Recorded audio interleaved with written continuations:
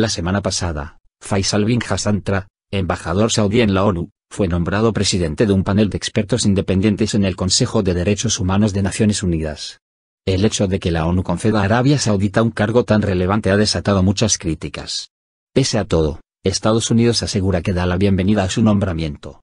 El Departamento de Estado de Estados Unidos ha apoyado la designación del embajador saudí en Naciones Unidas para encabezar un panel en el Consejo de Derechos Humanos de la ONU, reacción que contrasta con la indignación mundial y las numerosas críticas que ha suscitado el nombramiento. En una sesión informativa del Departamento de Estado del pasado 22 de septiembre, el portavoz Mark Toner afirmó que Washington daría la bienvenida a este nombramiento, recordando que Arabia Saudita y Estados Unidos son aliados cercanos. En cuanto a este rol de liderazgo de Arabia Saudita, Esperamos que se trate de una ocasión para ellos, para que se fijen en los derechos humanos en todo el mundo, y también dentro de sus propias fronteras, opinó Toner, respondiendo a una pregunta, informó de Intercept.